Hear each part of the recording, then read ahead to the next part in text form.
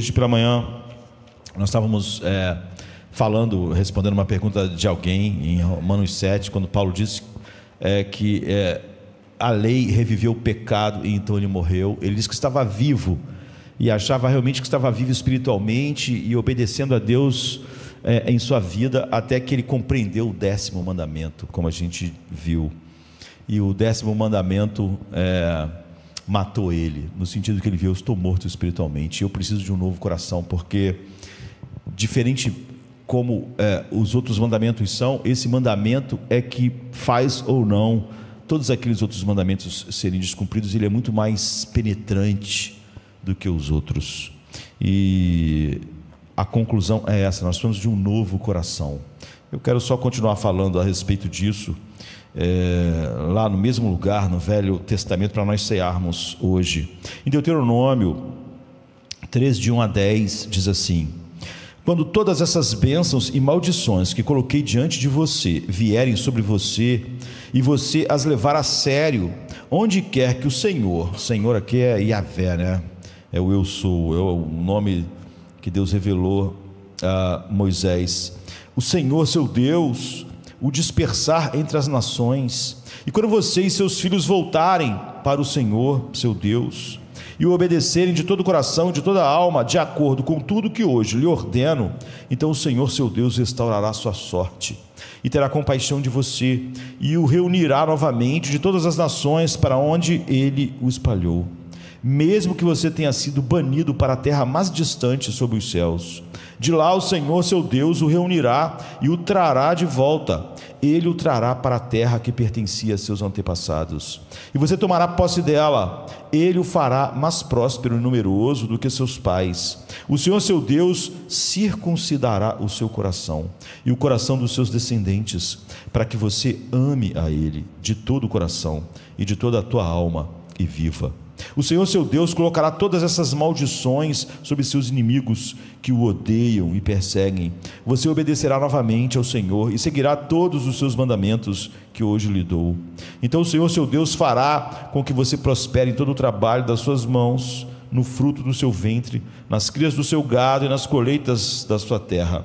O Senhor terá prazer em você novamente e o fará prosperar, assim como ele se deleitou em seus pais. Se você obedecer ao Senhor, seu Deus, e guardar os seus mandamentos e decretos que estão escritos neste livro da lei, e se voltar para o Senhor, seu Deus, de todo o coração e de toda a sua alma. Eu já disse aqui que o livro de Deuteronômio é um livro maravilhoso, não é? já que é, quando Deus fala sobre Moisés, diz que eu levantaria um profeta semelhante a Moisés quando ele fala sobre Cristo. Moisés está assim, é, num dos lugares mais altos da revelação de Deus na história, né? talvez junto com, com da, é, Paulo né? e Davi. E a gente já disse que o livro de Deuteronômio é uma série de sermões. Volta e meia a série de sermões pregado por um ou por outro, né? Mas Moisés pregou uma série de sermões quando sentiu, ou quando percebeu, ou quando Deus mostrou que ele estava no fim, que ele ia partir, que ele ia morrer. Então, quando ia morrer, ele pensou: vou pregar uma série de sermões.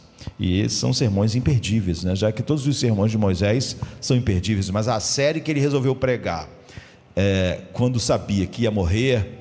Então, quando você está prestes a morrer, quando você vai fazer uma série de sermões e você sabe que aquilo são as últimas coisas que você vai pregar neste mundo, é, quando você sabe que está falando. É, é e aquilo é o canto do cisne da sua vida, né? você não vai falar mais nada, são as últimas palavras, é, então você não tem rodeios, você não tem tempo de ficar é, rodeando e tentando passar a mão para é, é, as pessoas é, é, irem entendendo muito devagar, você vai direto ao ponto das coisas mais importantes e você só diz as coisas mais importantes que você aprendeu em toda a sua vida.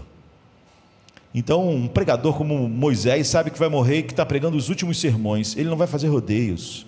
Ele vai pregar as coisas mais importantes que ele aprendeu em toda a sua vida. E ele é um dos homens que mais conheceu Deus. Então, aqui no fim de todos os sermões, no fim da série de sermões que ele está pregando, se isso é verdade, em toda a série de sermões que ele sabe ser a última, imagine quando ele chega no fim da série. É? Então, no fim do livro de Deuteronômio, Moisés chega às coisas mais cruciais que Moisés poderia dizer a qualquer pessoa de tudo que ele conhecia de Deus. Então é Moisés no lugar mais alto na sua série final de sermões. E hoje eu, eu diria que, de certa forma, é o mais crucial de tudo que ele disse até aqui, nessa série de sermões. Aqui, ele nos dá a solução para o que poderia ser chamado de o um problema humano definitivo, que era o que Paulo estava falando quando ele disse: então, é, a lei reviveu o pecado e eu morria quando estava falando sobre o décimo mandamento. Então, qual é o problema definitivo do ser humano? Qual é a solução que Moisés traz no final dos, da sua série de sermões? Como você sabe se você está onde ele disse? Ou seja, se você experimenta o que ele está falando, e se não tiver, como você pode finalmente experimentar o que ele está dizendo. Então, aqui é o ponto culminante da série de sermões que Moisés sabe que ele está morrendo, na qual ele só falou aquilo que era essencial, mas ele chegou no essencial do essencial. Então, qual é o problema? Está realmente aqui nos versos de 1 a 4. Se você é, gastar tempo olhando o livro de Deuteronômio, você vai ver que basicamente o livro de Deuteronômio é o plano de Deus para como ele quer que os seres humanos vivam. Ou seja, como ele fez para nós vivermos, não só durante um tempo, mas para sempre. É um plano maravilhoso, é uma visão de uma vida, é, mesmo é, é, agora, de, de, de, de, integridade, de generosa alegria. É, se realmente é, vivêssemos dessa maneira, é, que está aqui, meu Deus, como esse mundo seria diferente do que ele é. É porque tudo que o ser humano faz, sente, escolhe é exatamente o oposto que o mundo é, como ele é. E a gente chega aqui no, num, num ah, num ó, num au, quando pensamos nisso. Deus diz repetidamente que se você viver de acordo com a lei de Deus, que nada mais é do que a expressão do seu caráter, esta será a bênção que você vai experimentar. Essa será, esta seria a sociedade que você viveria. Mas ao longo do livro de Deuteronômio, Moisés disse é, e dá repetidamente o seguinte aviso: vocês não vão viver assim. Vocês vão se afastar dele. Se você vive assim, é, não há integridade. Se você é, se como Paulo enxergou, se eu, eu não tenho um novo coração, eu não tenho como fazer, lidar sequer com o décimo mandamento que é não cobiçarás. Então você vai ser cortado, exilado, banido. Então, no versículo 1 ao 4, Moisés está olhando pelos corredores do tempo, sabe? Olhando pelo túnel do tempo. E está dizendo, finalmente, aqui no final, é, vocês vão falhar miseravelmente Toda lei só vai matar vocês. Vocês vão falhar miseravelmente a respeito de todas essas coisas. E no versículo 2, ele diz: Vocês serão dispersos, todas as maldições da lei virão sobre vocês. E no versículo 4, vocês vão ser banidos. Isso é uma péssima notícia, é uma má notícia. A lei é maravilhosa, santa e boa, mas ela não é uma boa notícia. Ela é exatamente a notícia mais terrível que o ser humano pode ouvir é, oposta à notícia que o Evangelho é, a lei, é, é, uma, é um ministério de morte. A lei não tem plano de salvação nela.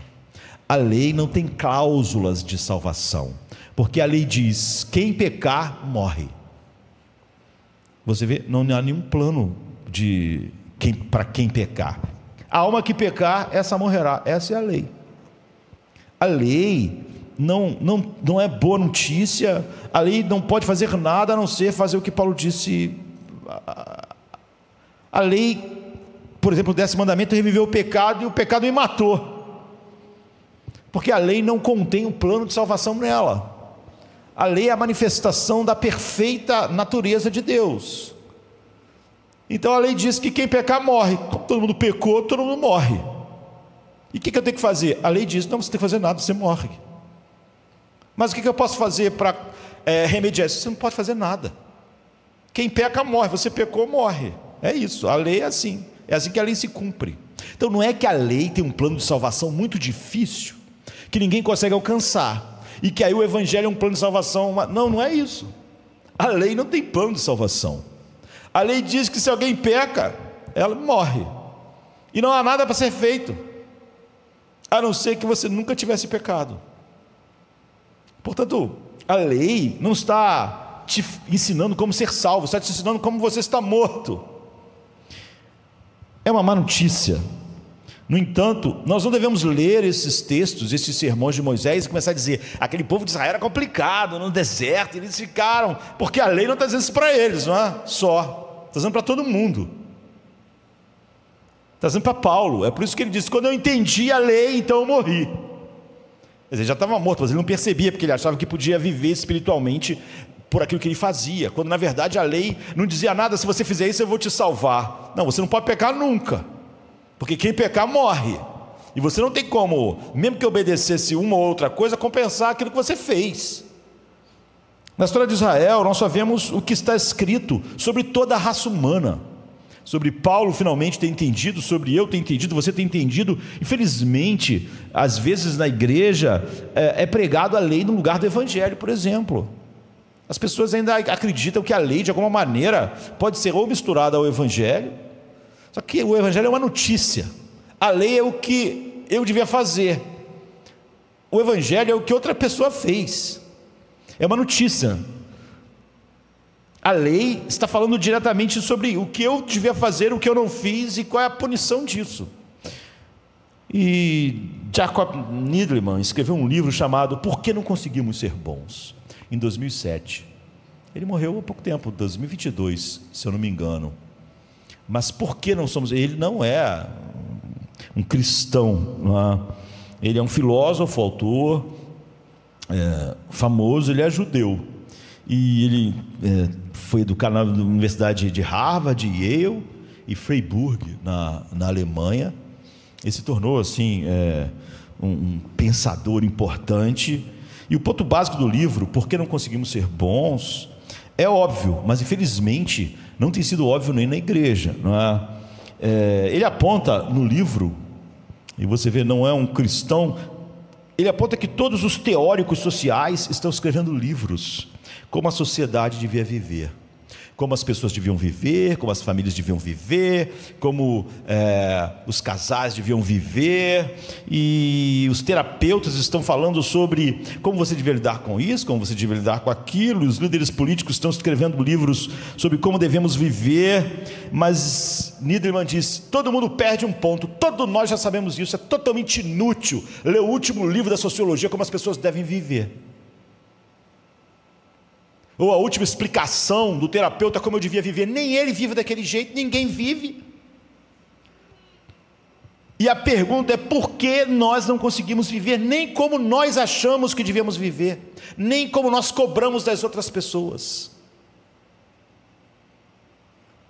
Então, o livro dele, ele tem vários, mas esse livro, um, um dos livros, ele tem vários livros famosos, mas por que não conseguimos ser bons? Nós sabemos o que não devíamos fazer. Nós sabemos que tipo de ação nossa destrói relacionamentos. Nós sabemos a questão da sociedade, da cultura, não é que as pessoas não sabem o que elas deviam fazer, elas sabem, todo mundo sabe. Todo mundo conhece a regra de ouro, não faça outro que você não quer que as pessoas façam a você. Mas enquanto você cobra que as pessoas sejam maravilhosas com você, você não é maravilhoso com elas. E você faz para os outros aquilo que você achava que as pessoas não deviam fazer com você. Ele diz: no livro, por exemplo, Niederman diz que os seres humanos sabem o que é bom. Cobram dos outros isso, dizem como o mundo devia viver, fala sobre os países tinham que viver em paz, é assim? Então, outro dia eu até botando um, botei uma foto e escrevi uma frase assim meio que é, dizendo que os, os, Beatles, por exemplo, só falavam sobre paz, você devia ter paz, viver em paz, e o mundo todo se abraçar na paz, então eles brigaram, não tiveram paz, acabou a banda, eles nunca mais se juntaram de novo. É assim. Esse é o livro de Niederman. Por quê? Nós não conseguimos ser bons. E permanecemos, ele diz, misteriosamente incapazes de adotar e praticar internamente as ideias e ideais éticos, morais, que nós mesmos sabemos que seriam melhor. Ele diz que esse é o problema definitivo, que é totalmente inútil o próximo livro de como você devia agir. Porque todo mundo já sabe. Como os pais deviam ser, como os filhos deviam ser, como os maridos deviam ser, como as esposas deviam ser, como todo mundo devia ser, como os governos deviam ser, como a sociedade devia ser.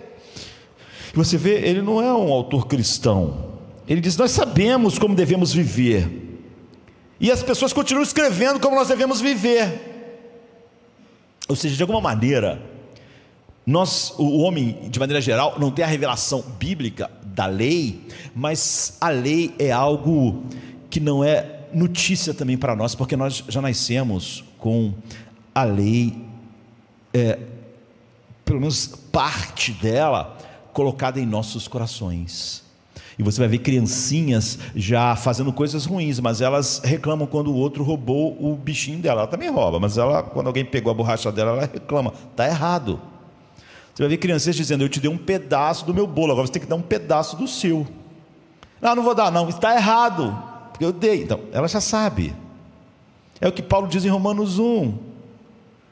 É o que a gente diz que é, quem não conhece o Evangelho vai ser condenado, quem não conhece a revelação de Deus, porque todos nós temos aquele gravador, como a gente já falou, que grava tudo que a gente, todas as, as, as, as é, cobranças éticas que a gente faz das outras pessoas. E um dia Deus vai ligar o gravador para a gente ouvir, que a gente ficou gravando durante 30, 40, 50 anos. A gente dizia, essa pessoa não devia mentir, mas a gente mente.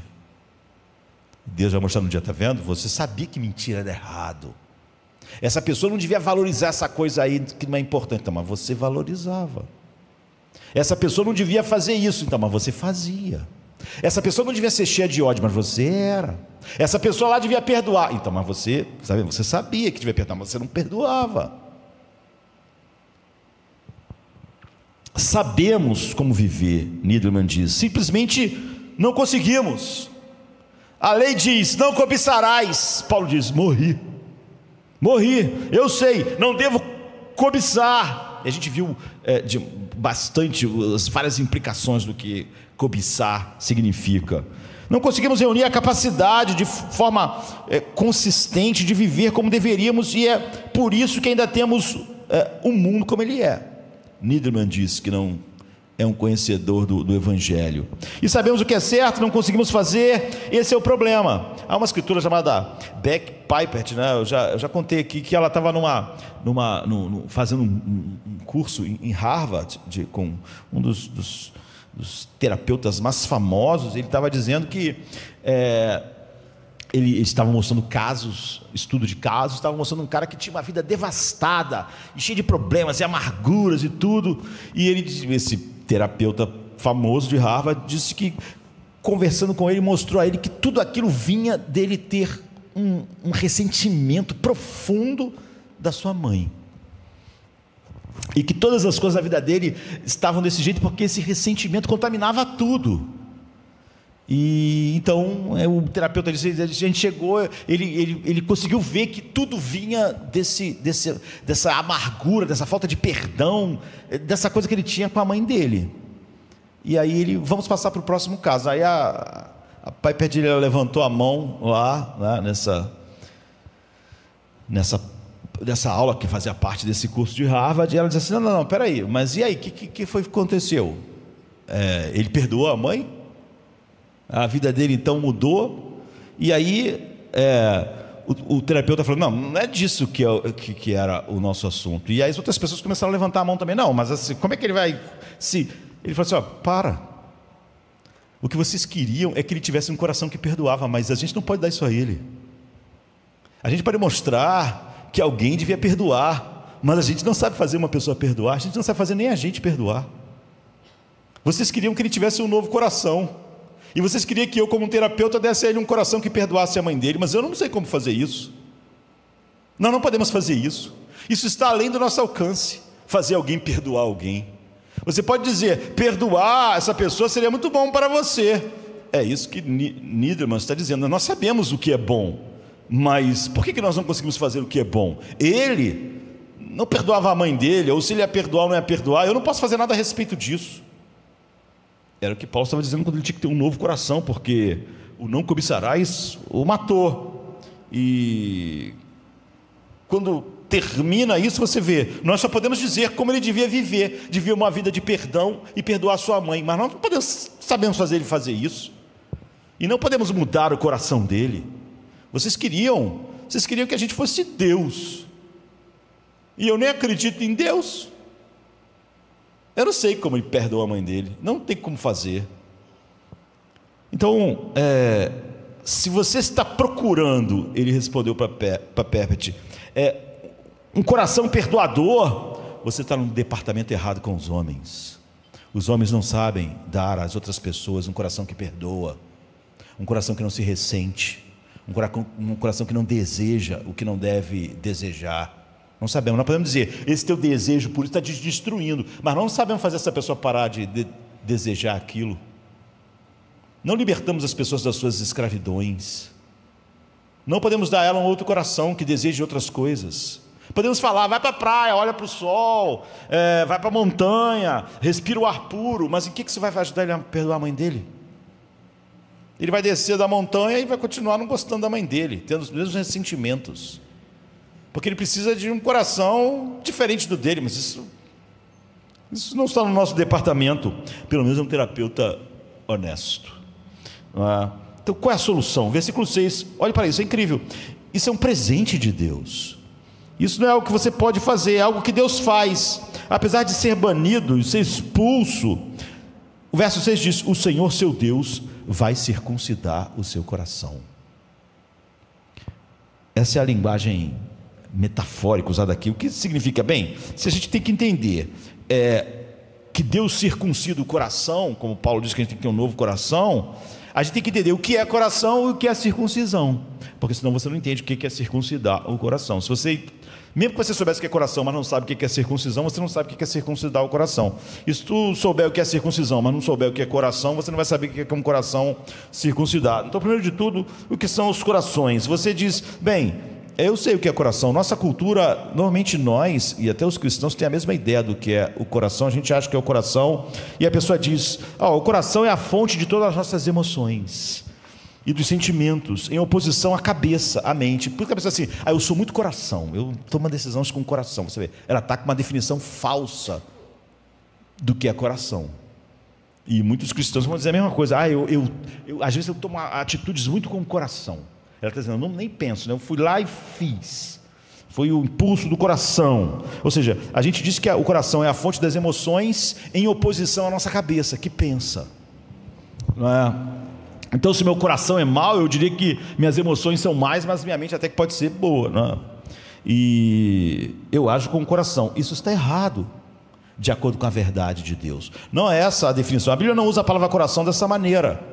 E é muito perigoso quando a nossa cultura usa palavras com definições opostas às de Deus e a gente pega as definições da cultura e traz para a Bíblia. É óbvio que a Bíblia passou a ser um livro fechado para nós quando a gente diz isso, porque a gente está definindo as palavras não conforme Deus, mas conforme o mundo, a cultura, o humanismo. Então a Bíblia não usa a palavra coração da maneira como usamos. É, deixa eu só ver aqui a hora, não está ali. Põe a hora para mim aí na, na, Ah, sim, melhorou. Então, é, na Bíblia, o coração é o centro do eu, é o centro de tudo. O coração não é o centro das nossas emoções, ele é o centro do eu atuante. Então, o coração controla não apenas as suas emoções, ela controla os seus pensamentos, o teu coração. O teu coração controla a tua vontade. E o teu coração controla as tuas ações. É por isso que a gente justifica o mal, por exemplo. Você sabe que algo é errado, mas o coração faz a tua mente começar a pensar um monte de maneiras com que aquilo, no teu caso, não é errado. Porque o coração controla a mente. Ele controla os teus sentimentos, a tua mente, e ele que controla a tua vontade e as tuas escolhas. É por isso que Jesus diz que sendo o coração mau, se a luz que é em ti, que é o coração, que controla tudo, se ele é trevas, Jesus diz, quão grandes são essas trevas, porque as trevas então, elas estão na mente, estão na vontade, estão nos sentimentos, não há escapatória dessas trevas. Porque não há nada luz em você. Ele diz: se a luz que é em ti, que é o seu coração, que seria o centro de tudo, é trevas, então tão grandes são essas trevas. Porque as trevas estão controlando a mente, estão controlando a vontade, estão controlando as emoções, estão controlando as suas escolhas, está controlando o seu, o seu fazer, o seu querer e o seu efetuar. Se ele é trevas, então as trevas estão controlando tudo. Não há algo em você para sair disso porque tudo é controlado pelo que está em trevas, que é o coração. Portanto, você não pode usar a mente para escapar, porque a mente é subserviente ao coração. O coração é o eu atuante. Porque na Bíblia o coração é o centro dos seus compromissos fundamentais as coisas que você mais acredita, as coisas que você mais espera, as coisas que você mais se apoia, as coisas pelas quais você vive, a maneira com qual você interpreta a vida, a atitude de todas as pessoas. O coração faz isso botando você no centro. As coisas que você olha e diz: se eu tivesse isso, eu seria feliz. Então é o teu coração. Ele está dizendo: é isso que vai te fazer feliz.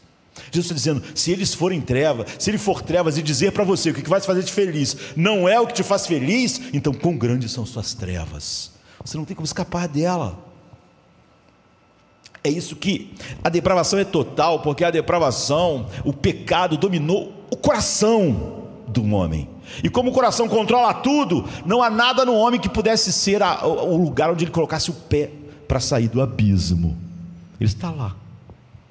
Não há nada.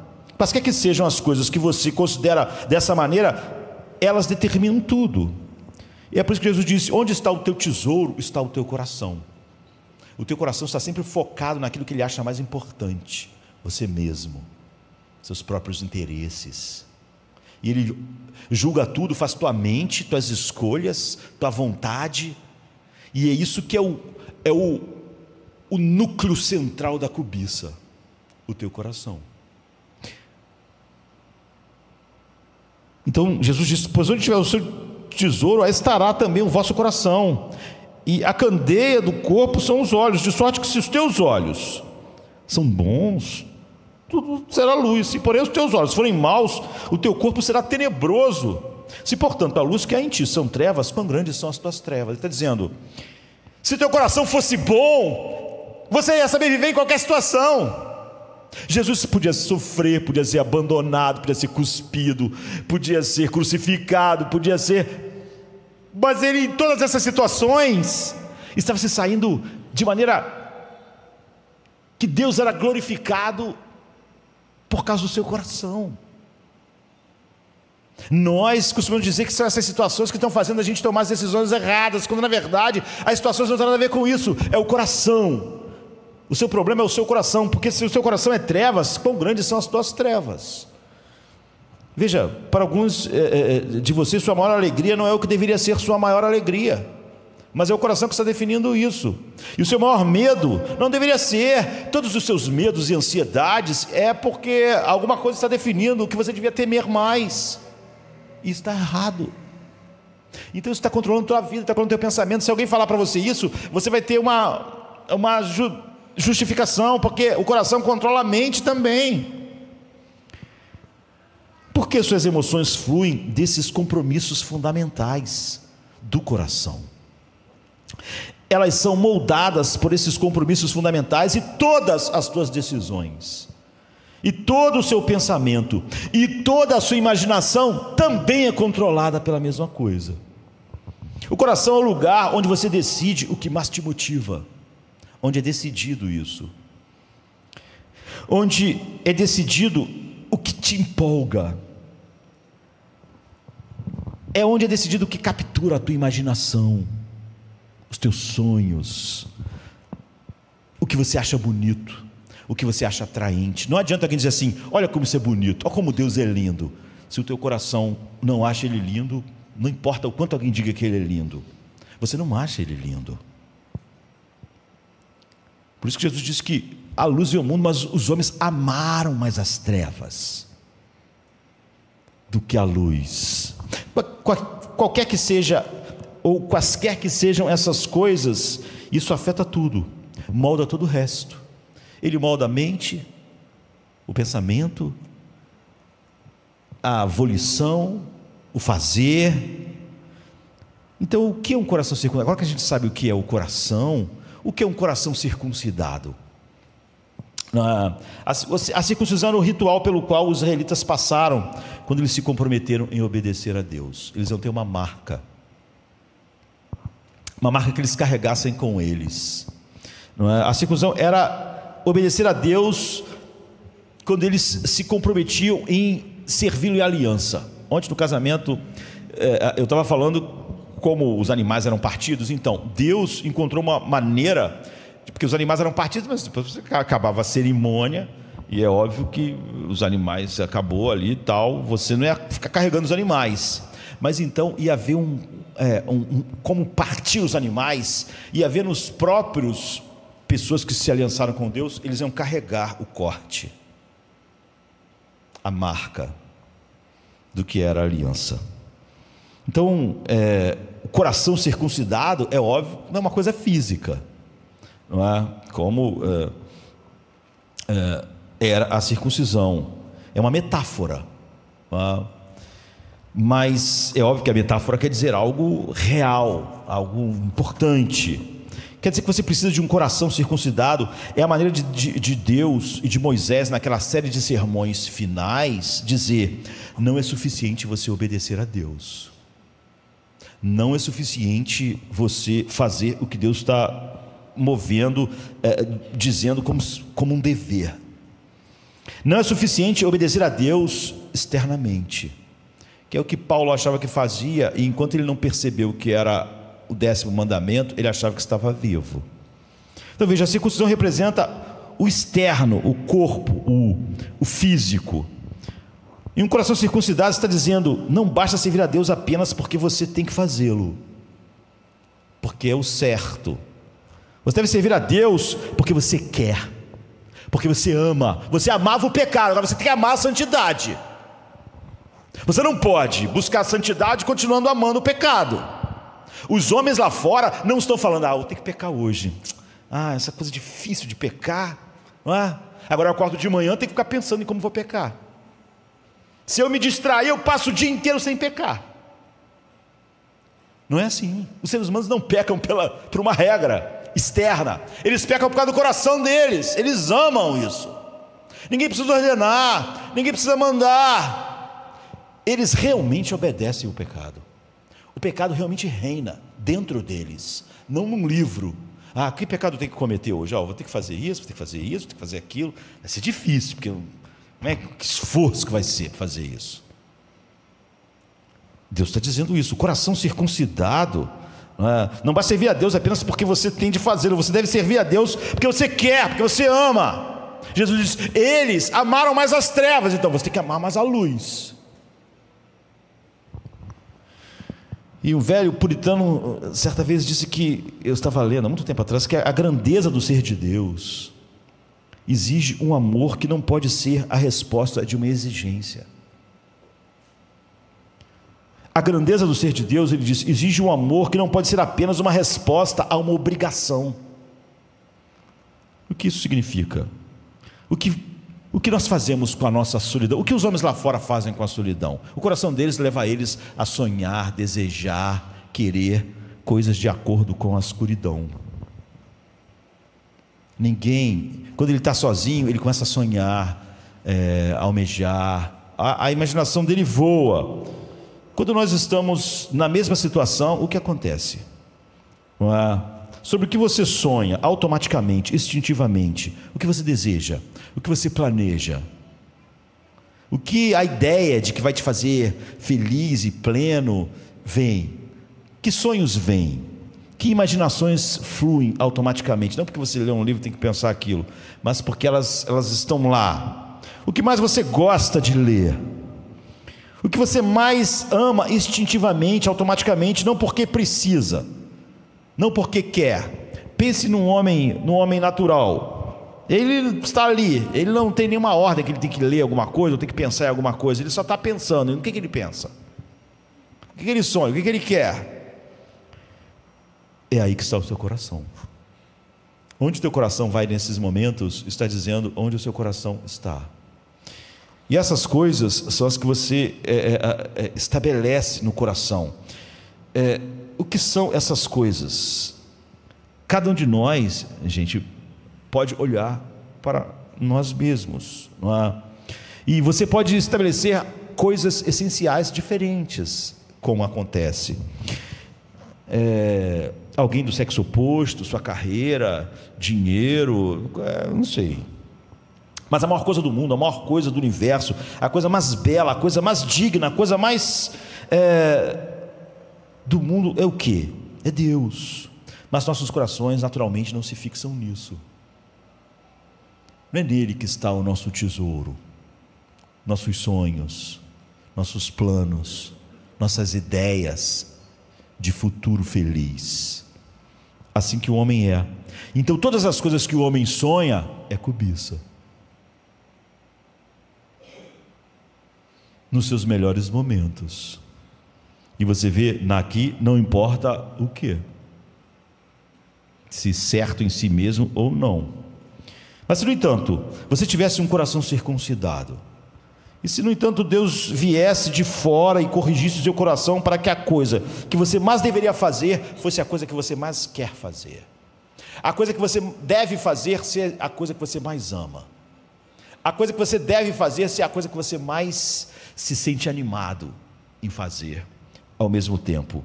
Esse é o coração circuncidado. A única cura para a cobiça. Isso é algo espantoso. Que a coisa que você mais deseja fazer seja a coisa que você mais deveria fazer. Que essas coisas se, se encontrem. É por isso que John Newton, né, um grande assim, um grande pastor, realmente compositor de hinos. E aí, então ele mistura grandes teologias, a grande teologia que ele pregou a esses hinos. Então ele acho que tem mais de 400 hinos. Apesar de Amazing Grace ser o mais conhecido, ele tem uma quantidade enorme de hinos e uma quantidade enorme na sua, na sua obra teológica. Há o hino dele que diz: Nosso prazer e nosso dever, embora antes opostos, ou seja, o que devíamos fazer e o que queríamos era oposto antes. Ele está falando dele é, antes da, da, graça maravilhosa, né? Desde que vimos sua beleza, a beleza de Cristo, estão unidos para nunca mais se separar. Essa é a descrição de John Newton do novo coração. E o momento em que você se encontra, e você encontra o seu prazer e seu dever, é, indo em direções diferentes. O meu dever era esse, mas meu prazer é aquele. Então, é o oposto disso, o oposto do coração circuncidado. Eu tenho que fazer isso. Eu devo fazer isso. Eu acredito em Deus, eu sei que Ele é a coisa mais valiosa, mas Ele não é a coisa que eu mais desejo. Eu sei que Ele é a fonte de toda alegria, mas eu acho que outra coisa vai me dar mais alegria do que Ele. Sei que eu tenho que fazer isso, eu sei que eu preciso ser é, uma pessoa assim, fazer essa, essa coisa aqui, mas a minha paixão não está nisso. Então, as coisas que eu mais desejo não são as coisas que eu devia desejar. Paulo diz: essa é a escravidão. E na segunda estrofe desse hino de João Newton, ele diz: Nosso prazer e nosso dever, na verdade, ele repete, embora antes opostos, desde que vimos sua beleza, foram unidos para sempre. E quando isso acontece, você tem um coração circuncidado, você tem um novo coração. É isso que Jesus disse, que a gente vai cear daqui a pouco. Essa é a nova aliança, na qual Deus lhes dará um novo coração. Então, algo tão grande assim deveria estar em toda a é, Bíblia. Você diz, está com vários nomes diferentes. Ezequiel, Jeremias dizem que Deus lhe dará um novo coração. Moisés está dizendo que é um coração circuncidado. É a mesma coisa, você vê. E não apenas um coração circuncidado. É, o Espírito de Deus diz: Eu escreverei minha lei no seu coração para que você me ame. Quando Jesus fala com Nicodemos em João 3, ele cita Ezequiel 37. Você deve nascer de novo do Espírito. E Nicodemos era algo, é, é, é, era alguém extremamente zeloso como Paulo, com o fazer. Mas você vê, havia uma desassociação entre o fazer e o querer. nele. Ele se esforçava para fazer coisas, mas não era lá que estava o seu coração. E a mesma coisa então é dita: nascer de novo, nascer do Espírito, receber um novo coração, um coração circuncidado, tudo são coisas sinônimas na Bíblia. Essa é a solução para o problema humano definitivo, que sabemos, como Niederman disse, por que não conseguimos ser o que sabemos que devíamos ser? Por que não conseguimos ser bons? Ah, então, como a gente sabe se a gente tem isso? Como você sabe se tem esse novo coração ou esse coração circuncidado? Existem três sinais embutidos nos versículos no sermão de Moisés. No versículo de 6 a 8, que acho que são extremamente importantes para saber se você tem um coração assim ou não. Aqui está o primeiro sinal. Bem, é, as três palavras não é, é, é, que nos dizem, os três sinais são amar, obedecer e viver. E Todas elas estão aqui, né? No versículo 6 diz: Deus circuncidará o seu coração para que você o ame de todo o coração e de toda a alma. O que isso significa? Bem, o primeiro sinal de um coração mudado, ou de um novo coração, ou de um coração circuncidado, é uma mudança na quantidade de conhecimento religioso. Não, é? Mas na qualidade da consciência espiritual. Isso é muito importante porque você pode empilhar conhecimento correto. Mas essa pilha de conhecimento correto, necessariamente, é, há pessoas que realmente estão há 20 anos ouvindo bons sermões, elas não mudaram absolutamente nada. Conversão ou novo nascimento, ou novo coração, não é uma mudança de quantidade de conhecimento, simplesmente é óbvio que é através da verdade que alguém é regenerado e é através da verdade que ele é santificado. Mas não é, não há correlação em mais conhecimento e um coração mudado.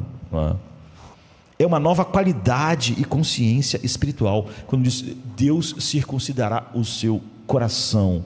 Moisés sempre tinha pregado bons sermões para aquelas pessoas.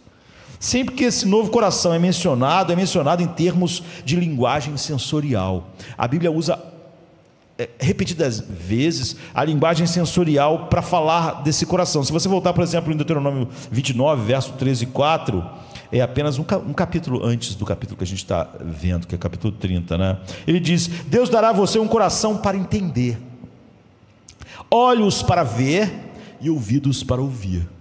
Você vê coisas sensoriais, vê olhos para ver e ouvidos para ouvir. O que isso significa? É? Já que todas as pessoas, a maior parte, têm olhos e eles funcionam, e têm ouvidos e eles funcionam. Você conhece a doutrina, você conhece Deus, conhece a santidade de Deus, conhece a justiça de Deus, conhece o amor de Deus, conhece essas coisas. Mas quando você recebe um novo coração, Moisés está dizendo: você verá isso, você não apenas saberá a respeito disso, você vai provar isso sensorialmente, por isso que ele usa a linguagem sensorial. Você vai saber ao experimentar, o que é diferente de saber é, é, de outra forma. Você vai realmente experimentar aquilo que você sabe. Como Jonathan Edwards diz, você pode saber que o mel é doce. Você já sabe, então, é, é o conhecimento do mel. E você pode até saber é, é, toda a, a, a estrutura molecular do mel, e você é um mestre sobre o mel. Mas isso não é conhecer o mel como quando você bota o mel na boca. E você sabe, é doce, é maravilhoso, você vê, você tem boca para sentir o mel. É isso, por isso que Deus está usando a, a, a, linguagem sensorial. Você vai ter olhos para me ver, vai ter ouvidos para me ouvir. E não só saber que Deus fala coisas maravilhosas e faz coisas maravilhosas. E por isso que a Bíblia diz: ó, prove e vê que o Senhor é bom. É outra linguagem social, como quando você prova o mel. Em vez de simplesmente ter uma palestra sobre o mel na melhor lugar do mundo de palestra e você se tornar um expert do mel, é, isso é maravilhoso, mas prova o mel e vê como ele é doce. Deus está dizendo, ó, oh, prova e vê que o Senhor é bom. Só Deus pode dar um coração que faz isso. Olhos para ver, ouvidos para ouvir, coração para sentir. Então, Jonathan Edwards, que eu estava mencionando, né, ele, ele viveu numa época que é muito diferente da nossa, porque é, todas as pessoas que Edwards conhecia eram cristãs, todas pessoas em Northampton, Massachusetts, eram batizadas. Todas acreditavam em Cristo. Todos acreditavam que Ele morreu e ressuscitou para nos salvar. Então, Jonathan podia ser uma pessoa que assim: o que eu vou fazer nessa cidade? Essa cidade é maravilhosa. Todos creem em Cristo. Todos em Massachusetts acreditam em Cristo. Todos dizem que Ele morreu para nos salvar. Hoje em dia, a gente diz até que se uma pessoa não acredita no que a Bíblia realmente diz, mas diz que crê em Cristo, ela está salva. Mas Jonathan Edwards sabia que todo mundo na cidade dele dizia que acreditava em Cristo e ouvia a pregação do Jonathan Edwards, mas ele não era ele não era tolo assim. Todas as pessoas eram batizadas na igreja. Todos acreditavam na Trindade, todos acreditavam na divindade de Jesus e que ele morreu pelos nossos pecados. Ainda assim, Jonathan sabia que na verdade, e todas as pessoas que realmente é, conhecem Deus sabem, o que as pessoas têm muito medo de falar cada vez mais, já que eu já disse que as pessoas são muito específicas no que é a verdade, até você colocar gente de fato a verdade, ou uma igreja. Aí as pessoas, não, apesar de a gente, não, se tiver outro evangelho que não seja esse evangelho, seja anátema, seja maldito. Se um anjo pregar um evangelho diferente, seja anátema. É, não, mas aquela pessoa ali também, aquele que era teu amigo, aquele grande pastor, ele está pregando um evangelho diferente. Mas eu acho que ainda é, é o evangelho. Está vendo? Quando a pessoa tem nome, se é alguém que eu gosto, aí não, aí um anjo do céu é anátema. Qualquer um era anátema. Mas não, mas aquela pessoa ele está pregando diferente. Ah, não, mas ainda assim é salvo. Ainda assim, ele quer que Cristo. É, mas o anjo que você disse que ia pregar outro evangelho, estava pregando o evangelho. Ele estava só pregando uma coisa diferente do que é a verdade, mas estava falando do evangelho. E você disse que é anátema. Não, esse anátema é o anjo, ou todo mundo, mas essa pessoa não. Aquele lá não, aquele lá também não. E aquela outra também não. Ou seja, na prática, tudo é mentira. Jonathan Edwards, ele não era tolo. Todo mundo na sua cidade acreditava que Jesus morreu, acreditava na Trindade, acreditava que ele morreu pelos nossos pecados. Isso, apesar do fato de todas as pessoas lá, na cidade dele, é, serem batizadas e viverem razoavelmente pelos princípios cristãos, ele sabia que a maior parte não era, não tinha um coração circuncidado. Eram batizadas, eram membras e ele sabia que várias não tinham um coração circuncidado. Então, Edas viu isso e qualquer pessoa séria com a palavra de Deus sabe mas ao contrário de nós, e ao contrário de uma geração que talvez seja a mais covarde entre as gerações, ele falou muito sobre isso. Ele não estava falando todo mundo simplesmente que era batizado na cidade de Northampton ou em Massachusetts, era tudo salvo porque todos criam em Cristo. Todos eram batizados e todos acreditavam na Trindade, etc. Ele realmente escreveu quatro livros a respeito disso quatro para mostrar o que é uma pessoa realmente regenerada e o que ela não é, e o que não é. No entanto, se a gente pudesse pegar isso e, e, e, e resumir essa grande literatura dele a respeito disso, basicamente algo que ele disse aqui vai, simpli, é, vai, vai é, sintetizar as profundidades do que ele falou. Ele diz assim: pessoas com um novo coração amam e obedecem a Deus pela beleza atrativa que Deus tem em si mesmo. Elas não amam e obedecem a Deus porque têm que fazer isso. Elas não amam e obedecem a Deus para obter coisas, mesmo que seja perdão, salvação. Elas não amam e obedecem a Deus como meio para um fim, não ir para o inferno. Elas obedecem a Deus porque amam como um fim em si mesmo. Elas amam Deus esteticamente ele falava muito sobre a beleza estética de Deus. Um anjo não obedece a Deus para não ir para o inferno. Sim, para aqueles que já ouviram essa ilustração, é, é, é, é essa, essa, essa, essas várias é, é, pequenas coisas que sintetizam pensamentos profundos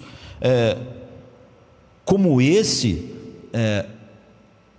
devem, devem ampliar isso. Às vezes a gente faz muitas coisas porque a gente tem que fazer. Você já talvez tenha que ter tido, lido muito livro quando estava no ensino médio, na faculdade, que você queria ler, mas você tinha que passar.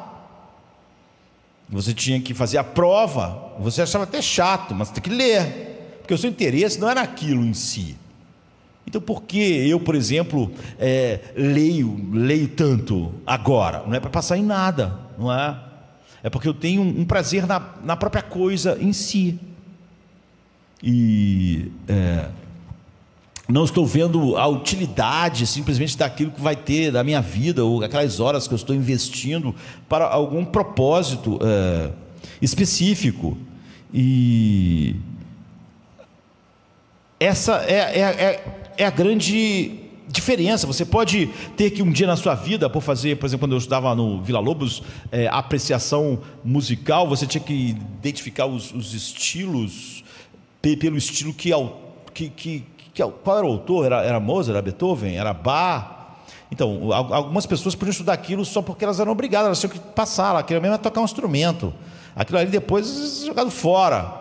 Então, mas aí depois, às vezes, anos depois, a pessoa adora escutar bar, mas não é para passar mais nada. É só porque ela gosta, só porque é o seu prazer. E ela vai gastar dinheiro com isso, com, com, com livros. Ela não está interessada em, é, em, em, em, alguma coisa em si. É? Ela tem interesse é, é, na, na, na, própria coisa. E já diz, o coração circuncidado é aquele que ama Deus esteticamente. Ah. E então ele diz: Deus não é útil para essas pessoas, Deus é lindo para elas. E Jonathan essencialmente está dizendo isso. Uma pessoa com um novo coração para obedecer a Deus apenas porque tem que fazer isso, para obedecer a Deus porque isso leva a algum lugar, leva a um casamento melhor, leva a uma sensação de perdão, a uma coisa, uma, uma, uma um, a, a melhores relacionamentos na família, melhor comunhão com as pessoas, e também me leva para o céu, é bom para casamento, é bom para a sociedade, é bom para muitas coisas. É, ele diz: não são pessoas que têm um novo coração. Mas essa pessoa que tem um novo coração começa a encontrar Deus esteticamente belo em si mesmo, apenas quer estar perto dele, é por isso que elas obedecem elas obedecem para agradá-lo. Elas obedecem porque acham ele lindo. Elas obedecem porque esse é o prazer delas. É quase é quase Jesus dizendo: fazer a vontade do meu Pai não é o que eu tenho que fazer, é minha comida, é minha bebida. Eu sinto essa necessidade. É como uma água descendo é, na minha garganta seca. É como a comida deliciosa chegando no meu estômago vazio. Obedecer meu pai é isso.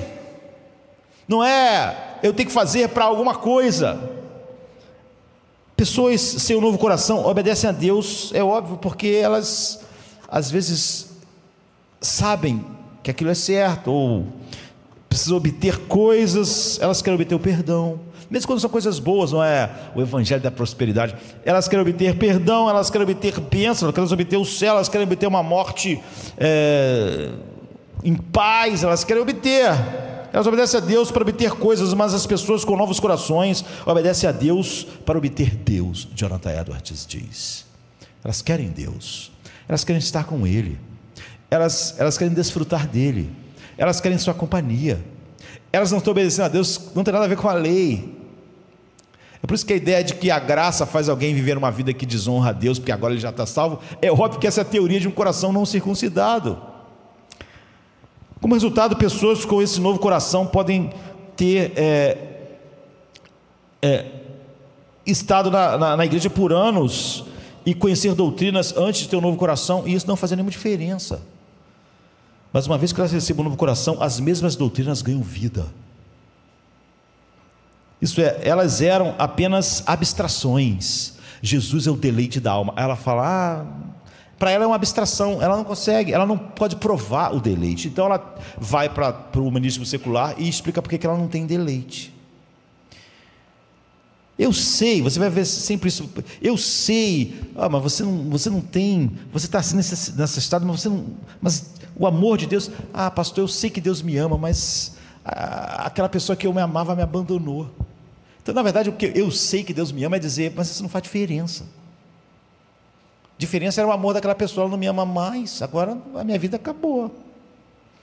Eu sei que Deus é soberano. Quando a pessoa diz você já, já vem. É? Eu sei que Ele é soberano mais, então é o mais. Essa pessoa não prova que Deus é soberano. Ela não tem ouvidos quando ela fala isso. Ela não tem olhos para ver. A pessoa diz: Eu sei que Deus é suficiente, mas se eu não tiver outra coisa aqui, como é que vai ser? Então você vê, ela não sabe que ele é suficiente.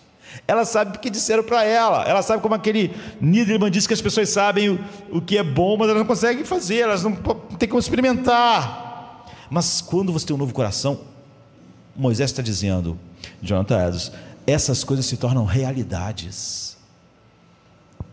Você viu o amor de Deus e antes você apenas sabia que Deus ama, mas você diz, eu sei que Ele me ama mais, mas agora o amor de Deus é como mel colocado na boca. Você sente, o amor de Deus foi derramado em nossos corações pelo Espírito Santo que nos foi dado. Quer dizer, nós não aprendemos simplesmente uma palestra sobre o amor de Deus, ele foi derramado em nossos corações. Você sente o poder de Deus, mas antes você apenas acreditava que Deus é poderoso. Você falava sobre a graça, mas ela não era maravilhosa, não para você. Em outras palavras, coisas que antes eram apenas abstrações se tornam é, incrivelmente galvanizantes, ou seja, você fica com um teflon na vida, as coisas não colam em você por amargura, como amargura na sua vida, por quê? Não importa o que, que coisas sejam, porque Deus é tão real que Ele, ele te, ele te, ele te é, reveste de um teflon que não tem raiz de amargura na sua vida. Elas são emocionantes, são transformadoras. Em segundo lugar, isso muda você, muda você. Veja, o ponto principal de toda essa passagem é que por causa desse coração mudado, você obedece. Você não obedece para ter um coração mudado. Você não pode obedecer para obter um coração mudado, porque a tua obediência ia ser com um interesse que, óbvio, não é em Deus, é no que você quer. O coração mudado não é o resultado da obediência, a obediência é o resultado do coração mudado. O coração mudado vem como um presente da graça de Deus. E a partir do coração mudado, flui uma vida agora que quer estar com Deus e quer obedecê-lo. As razões que o Evangelho dá para a obediência não tem nada a ver com a lei. A pessoa já sabe que a lei não condena mais, mas tudo que ele quer é obedecer a Deus. Muitas pessoas não mas como assim? Para quê? Por que, que tem que obedecer se eu já estou salvo? Né? Esse é o argumento de cristãos. Porque é óbvio ele não tem um coração circuncidado. Se você realmente tem um novo coração, você muda. Você muda porque tem um novo coração. Você não muda para ter um novo coração. Há pessoas que dizem: Ah, eu gosto de você, do que você acabou de dizer sobre Jesus, isso me move. Bem, quando eu estou no culto, eu acho tudo maravilhoso, as músicas me emocionam, a pregação me emociona, eu acho o sermão ótimo, eu amo os sermões, isso é maravilhoso. Mas Jonathan Edwards diria que essas pessoas ficaram impressionadas, a menos, ele diz, é, Jonathan Edwards diria para você: Eu fico feliz que você, que você goste dos sermões do Josemar Bessa, talvez eles façam você chorar, isso é maravilhoso, você sente. Mas você não sente a realidade espiritual se você não mudou. Você ficou emocionado, mas você foi embora. E tudo se passou bem. As pessoas que é, é, é, é, te conhecem vão começar a ver que esses sermões não são só algo que você gosta, são coisas que te mudam. Você podia dizer antes que não podia ter nenhuma paz e alegria, mas você só não gosta desses sermões. Eles começaram a te dar paz e alegria. O versículo 6 diz: O Senhor, seu Deus, circuncidará o seu coração para que você ame e viva. O que significa? Eles não estavam vivos antes? Paulo disse: Então eu morri. Não está falando sobre vida biológica, está falando sobre vida espiritual. Não é? Aqui está o que é importante: a vida biológica ela vem gradualmente. E eu acho que isso é importante. A vida espiritual, ela também funciona assim. Eu tenho certeza que muitas pessoas, quando ouvem a gente pregando desse jeito, esses dois primeiros pontos, eles ficam. Eles, é, é, amar a Deus, significando que Ele se torna a maior beleza em sua vida, e você começa a mudar, e você começa. É, muitas pessoas ficam assustadas. Poxa, esse é um padrão é, tão grande. E pense, isso é vida espiritual. Pense como é a vida biológica. Como ela começa? Ela começa com você sendo um bebê. Já está vivo? Óbvio que está. Mas olhe para os bebês, os bebês. Eles parecem um caso perdido, é? os bebês. Você tem que carregar eles, porque senão eles não saem do lugar. Eles apenas tomam e tomam. Você tem que dar comida a eles, você tem que limpar eles, você tem que dar banho neles, você tem que carregar eles. Eles, sinceramente, parecem um caso perdido, porque eles não conseguem fazer simplesmente nada. Você tem que levá-los para todos os lugares, você tem que protegê-los das coisas, tem que proteger eles deles mesmos. Eu não consigo te dizer quantas vezes os meus filhos, quando eram pequenininhos, né, é, quando eles estavam chorando e gritando por algo, é, eu pensava, se você pudesse pelo menos raciocinar comigo, entender o que eu estou dizendo, mas é óbvio que isso não, não ajudava.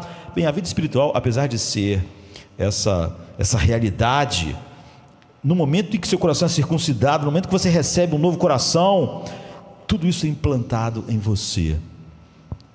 É uma semente incorruptível, imortal. E leva um tempo para tudo. Jonathan Edwards ainda estava crescendo.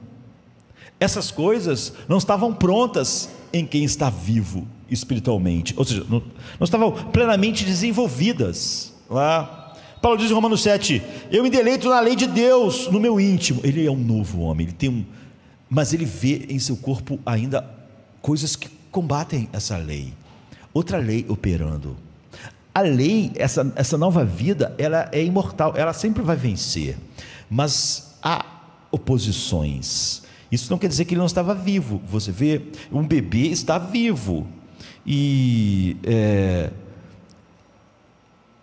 há um crescimento gradual inevitável, inexorável, como acontece com os bebês. Eles têm que ser carregados, mas não para sempre. Eles têm que ser alimentados, mas não para sempre. Eles têm que ser. É, é terrível como você vê crentes que são crentes há 20 anos. Ah, eu sou uma velhinha perdida, ninguém me ajuda. Como assim? Você é essa ovelhinha que não sabe fazer nada. 20 anos. Você ainda é um bebê. Não pode ser. Simplesmente não pode ser. Apesar da nova vida começar muito é, parecendo frágil, ela é vida, ela é um poder e ela é uma vida imortal. Ou seja, leva tempo, mas é orgânico. Um bebê vai ficar adulto com 20 poucos anos, mas é orgânico. O crescimento é interno, vem de, não é coisa externa. Você vai botando coisas nele e ele vai ficando maior. Porque você bota um capacete maior, um, um braço de pau. Não são coisas externas. Todo crescimento externo não é o crescimento da nova vida.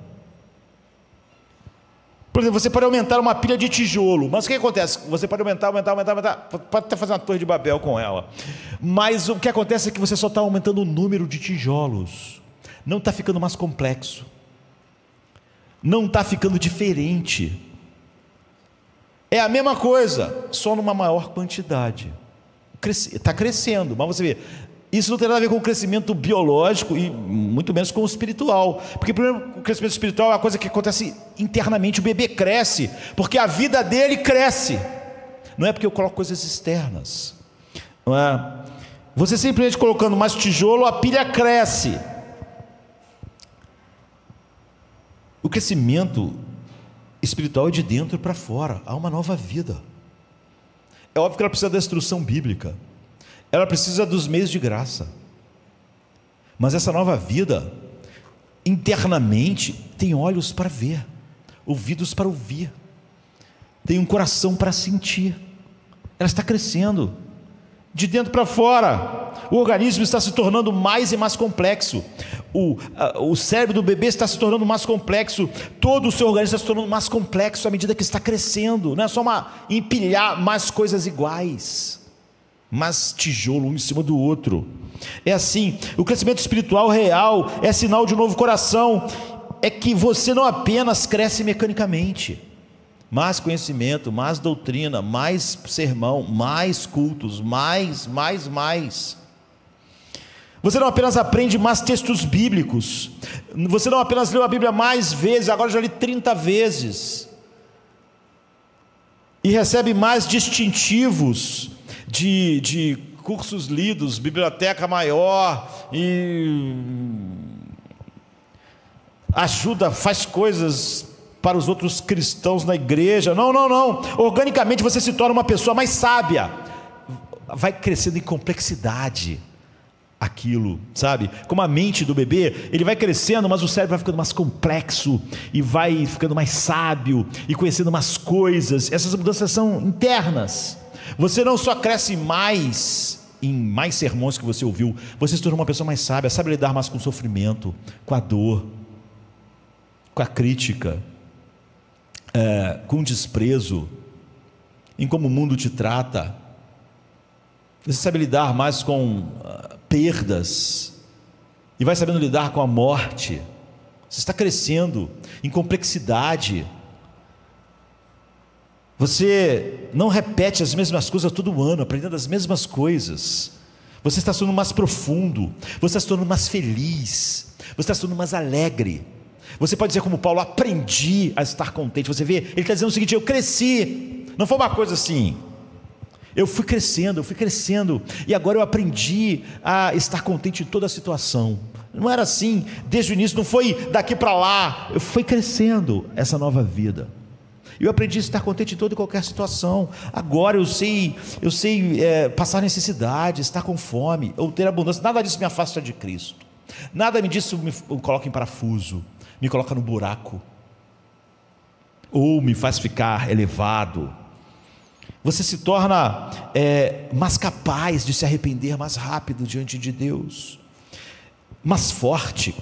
Paulo vai dizer: fortalecei-vos no Senhor na força do seu poder. Toma então da armadura. Você não vai ficar a vida inteira com essa coisa. Eu sou uma ovelhinha, não sei o quê, ninguém está me carregando. Você se torna um soldado. Você pode resistir no dia mal. Você está crescendo. Porque essa é a vida espiritual. Você cresce. É estranho se for diferente, porque não é vida. Você cresce agora. É óbvio que se você só juntar sermões sobre sermões nos próximos 10 anos, como alguém junta uma pilha de tijolos, no final a pilha de tijolos não é mais complexa. Ela é a mesma coisa que era antes, só que com mais tijolos. Você ouve 300 sermões, mas não se torna mais sábio. Não sabe lidar com a dor, não sabe ter a, você a tua alegria em Cristo não cresce. Você cresce na graça, você cresce na vida espiritual, você cresce no caráter espiritual. Você, é, isso é muito diferente do crescimento mecânico. Você tem esse coração. É isso que Moisés está falando. Alguns podem dizer, bem, quer dizer, é, você já nasceu de novo. Não importa o quanto é, hábitos difíceis você conseguiu mudar. Nicodemos era um pilar da sociedade. Mas Jesus disse: Você deve nascer de novo. Você tem que ter um coração circuncidado. Tudo que tu está fazendo é amontoar pilhas de coisas, não há mudanças reais. O teu coração, que é a fonte das suas motivações, desejos, fazer, ele, ele não mudou, é a mesma coisa. Deus não é mais belo, Deus não é mais lindo para você. Não é. É o que Jonathan Edwards dizia para sua cidade, em Northampton, ou toda Massachusetts. Todos vocês são batizados, mas a maioria de vocês não tem um novo coração. Você diz, bem, é, alguns vão dizer, não sei, é, e eu, eu, devia ter determinadas experiências é, específicas. Não, não é. Você vê que as coisas são muito diferentes em como Deus salvou Pedro, como salvou Paulo. Algumas pessoas, é, você fica, fica evidente que Deus estava fazendo algo em Paulo muito antes daquele dia que finalmente ele teve aquele encontro no caminho de Damasco, porque ele estava lutando contra os aguilhões. Mas Deus diz: é inútil, é inútil. Deus estava lá, ou seja, é, mas em todos os temas é um começo de uma nova consciência espiritual. É o começo quando eu é, parei apenas de saber sobre Deus. Isso é o, é o começo é, de uma realidade espiritual. Foi quando todas as mudanças começaram de fato na minha vida. Às vezes não é dramático, é, nunca é imediatamente todas as coisas, já que é a vida, a vida que cresce. Você deve ter o seu coração circuncidado, você deve ter, receber um coração circuncidado. Nós vamos cear e você deve saber se você tem isso, porque ter isso é o que define tudo. Não diga simplesmente nessa noite se você é, às vezes quando eu vivo pensa, ó oh, Deus me dê um novo coração, eu preciso de um novo coração, por quê? Porque eu quero ser uma pessoa melhor. Não vai funcionar. Não funciona assim. O que você deve fazer? Eu quero que você veja como Deus é, obteve um coração para nós. Deus começa a mudar as entranhas do nosso ser, nos mostrando não só que Ele nos dá um novo coração, mas como Ele obteve um coração para nós, um novo coração. Isso é que move a nossa alma. Como Deus obteve um coração para nós, nós fomos banidos, nós fomos exilados, nós, em nossos pais, fomos banidos e tudo que nós nascemos nesse mundo é com um coração que amava tudo menos Deus. E nossos pais no jardim, é? porque queriam é, algo que não era Deus, então, todas as coisas caíram, eles foram exilados, foram banidos, foram expulsos, como o texto está dizendo aqui, e a resposta é, é, é, que nós merecemos, como eu disse, não há nenhuma, nenhum plano de salvação na lei. A lei só diz que se você pecar, você está condenado. Aí, o que, que eu faço para não ser condenado? Você não faz nada. A lei já deu sentença. Temos que fazer. Você está condenado. Você está debaixo da maldição. Você só está esperando para ouvir o, o, o malditos no fim. A lei não tem plano de salvação. A lei diz que uma vez que você peca, você morre. Ah, e então volte para cearmos e pense na circuncisão. Muitos estão dizendo, é, eu, não, eu não quero pensar sobre isso porque essa foi a maneira pela qual os israelitas fizeram seu compromisso com Deus. Por que, por que era assim? Por que tinha que ser assim? Por que, que não era uma coisa mais simples, assim, uma coisa. Por que não fez uma tatuagem em vez de cortar o prepúcio? É, que tal uma mecha do cabelo? Não é? Porque circuncisão, sangue, dor, é, cara, nojento, esse é o ponto. É? Quando Abraão lá partiu os animais em Gênesis 15 caminhou, e Deus é que passou entre os, os animais, por quê? Por que isso? Porque pedaços de animais mortos, é, como a gente sabe que a aliança era feita, eu prometo que farei o que eu devo fazer, ou então vou ser cortado é isso que a circuncisão significava para os judeus. Nós obedeceremos.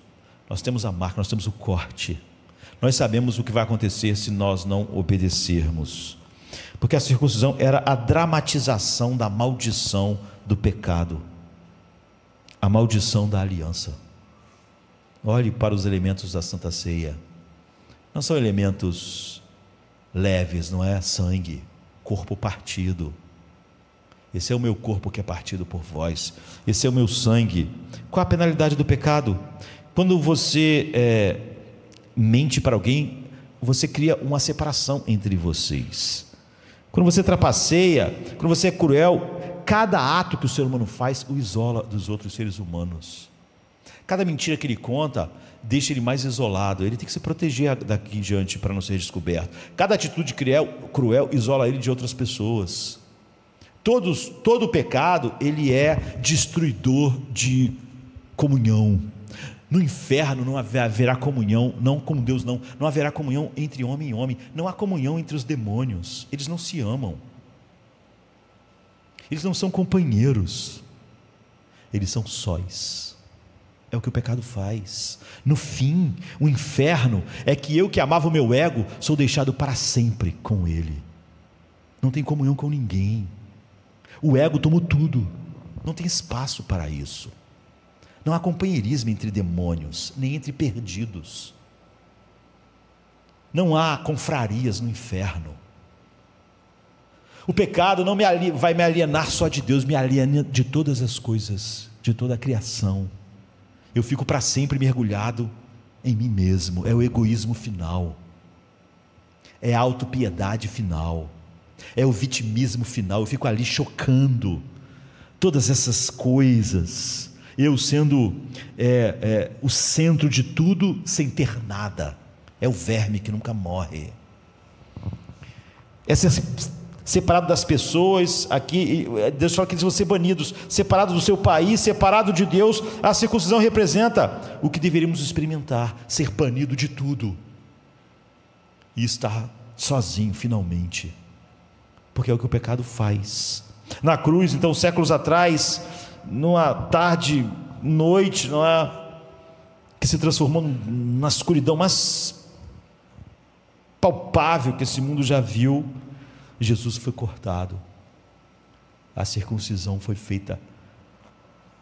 Espinho na testa, lança perfurando o coração, prego nas mãos. Ele estava sendo cortado. Quando ele disse, Deus, por que me desamparaste? Ele está dizendo, eu fui cortado de tudo.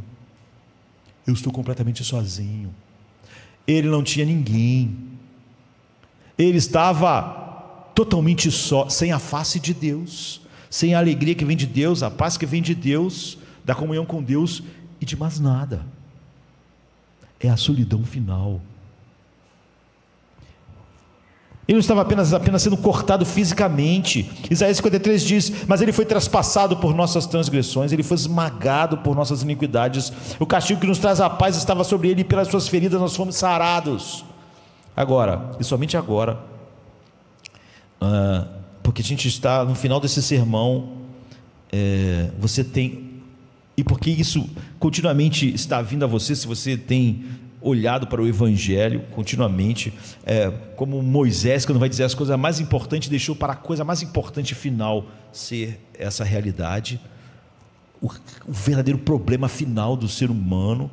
Você pode entender passagens como Colossenses 2, 1 e 12, que diz: Cristãos, vocês foram circuncidados na circuncisão de Cristo na cruz. E vocês foram batizados no batismo de Cristo. Você lê isso e pensa o quê? Mas agora, é, talvez quando você entende o que é coração, o que é circuncisão, o que Moisés está dizendo, o que Paulo estava dizendo quando estava falando sobre o décimo mandamento, na cruz Jesus Cristo estava experimentando o corte cósmico, que a circuncisão era só uma metáfora. Agora a metáfora não era mais metáfora, a metáfora era a realidade.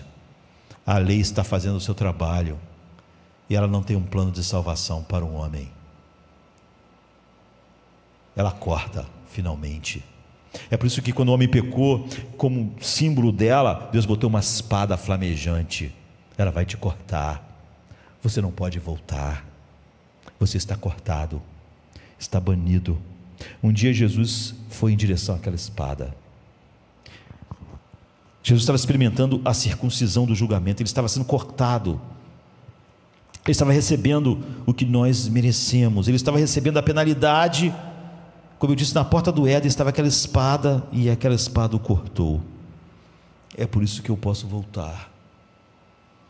É por isso que eu posso ter um coração circuncidado, porque ele foi circuncidado com a circuncisão que eu devia e é isso, é a visão. Quando Deus dá olhos para ver isso, como ele diz, mas vai dizer, até hoje Deus não deu olhos para ver. Quando eu vejo Cristo dessa forma, então eu sou transformado, eu tenho, eu tenho um novo coração. É isso que me dá um novo coração.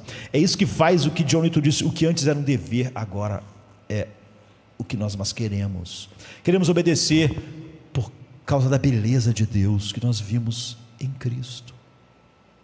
Não obedecemos porque é, por causa da lei e porque queremos ir para o céu, obedecemos porque queremos que nós queremos comunhão com Ele, nós queremos provar cada vez mais, porque provamos e Ele é bom. Nós não falamos, ah, Deus, Ele é, Ele é suficiente mais, não temos mais, mais agora. Deus realmente é alegria, mas não temos mais, Ele é alegria mesmo. É a alegria que eu experimento.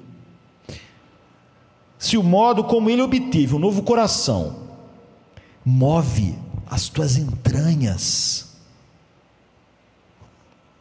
isso é o começo de um novo coração. Quando você percebe que o jeito que Ele nos deu um novo coração foi o coração dele ser literalmente traspassado por uma lança, e ele ser literalmente traspassado pela espada da lei, porque a lei não tinha nenhum plano de salvação. Então, Deus começa a ser lindo para você, é o que Jonathan Edwards diz, e não mais útil. É lindo, é lindo. E você apenas é, pedir a Deus, eu quero um novo coração para viver uma vida certa, está tudo errado. Ah, para receber as, as bênçãos, se o que Jesus fez, seu corte, sua experiência, se o que ele fez para obter um novo coração te comove, move, e esse coração é que controla a mente, a vontade, então você tem um novo coração. É isso que Jonathan queria para aquelas pessoas.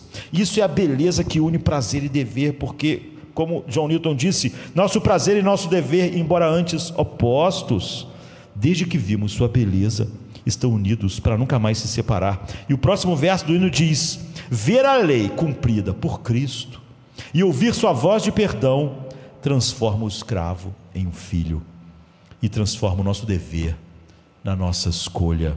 A beleza do que Jesus Cristo fez na cruz, sendo a circuncisão, é que circuncida o nosso coração. Isso te comove, então esse é o começo do novo coração. Vai crescer, vai ser expandido. Paulo vai te chamar para conhecer o amor de Cristo, que excede todo entendimento, conhecer a largura profunda, a, a profundidade, mas o novo coração vai inexoravelmente nessa direção. Vamos ficar de pé. É sexta-feira chega trazendo a noite seu manto. Jesus em súplicas Enquanto Pedro sucumbe ao encanto do sono, Judas, com seu beijo, selou destino.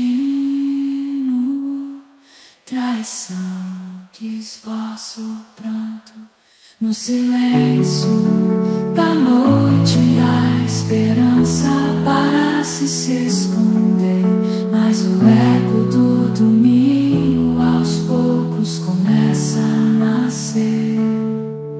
Pilatos em sua indecisão, o sinédrio em conspiração, a turba em escárnio desconhece a ressurreição. Discípulos fugitivos, corações partidos, Maria em lágrimas, Pedro nega o galo canta anunciando amanhã que tarda.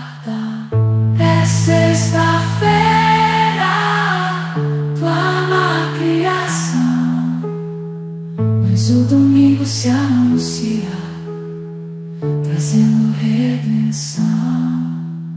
Nosso Salvador, sob o peso da cruz, caminha entre a multidão que zomba sua santidade diminui.